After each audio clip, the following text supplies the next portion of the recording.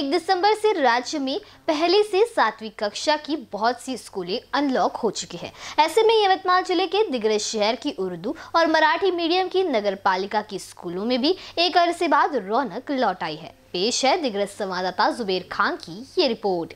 अपने विद्यार्थियों को ब्लैक बोर्ड पर लिखी मराठी वर्णमाला की पहचान कराती, ये प्राथमिक स्कूल की शिक्षिका अलका देशपांडे है, जो बखूबी से तीसरी कक्षा के बच्चों को पहली कक्षा की तर्ज पर मराठी वर्णमाला सिखा रही है, क्योंकि कोरोना संक्रमण के प्रकोप से दुनिया भर में हुई उतल पुतल के बीच ये बच्चे भी पहली कक्षा से सीधे अब तीसरी कक्षा में दाखिल हो चुके हैं। बहरहाल, एक दिसंबर बुधवार को स्कूलों के शुरू होते ही विद्यार्थियों के रूप में मानो रौनक लौट आई है। शहर और तहसील की सभी स्कूलों के साथ दिग्रस नगर पालिका की मराठी और उर्दू मीडियम की स्कूलों की रंगत आज देखते बन रही थी। इन स्कूलों में शिक्षकों ने बड़े उत्साह और हर्षोल्लास के साथ अपने अपने विद्यार्थियों का फूलों से स्वागत किया। उन्हें चॉकलेट्स भी दिए। वैसे डेढ़ से पौने दो साल के बाद स्कूल पहुँचे इन विद्यार्थियों की पढ़ाई का पहले ही काफ़ी नुकसान हो चुका है।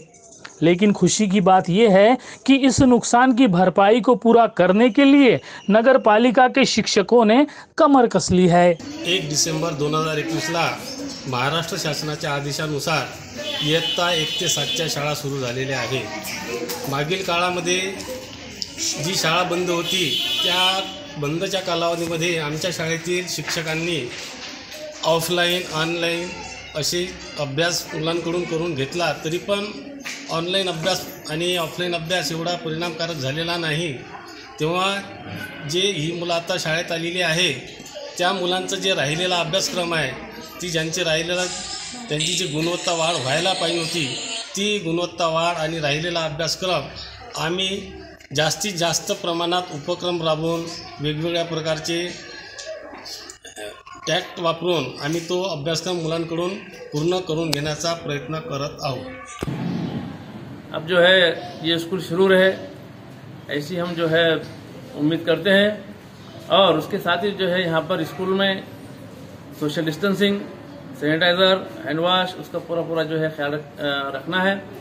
और मैं जो है, पालक वर्ग से विनती करता हूँ कि वो बच्चों को जो है भेजे और शासन के गाइडलाइंस जो है, उस गाइडलाइंस के हिसाब से जो है स्कूल चले ऐसी मैं उम्मीद करता हूँ। मालूम हो कि बीते दिनों भारत देश अंतर्राष्ट्रीय हैप्पी प्लैनेट इंडेक्स या हैप्पीनेस इंडेक्स की सूची से पिछड़ गया था। वो शायद इसलिए क्योंकि भारत का हंसता मुस्कुराता बचपन स्कूलों से दूर घरों में कैद था। बहरहाल, अब स्कूलें शुरू होने से विद्यार्थी काफ़ी खुश है। वहीं शिक्षकों के चेहरे पर भी उत्साह झलक रहा है।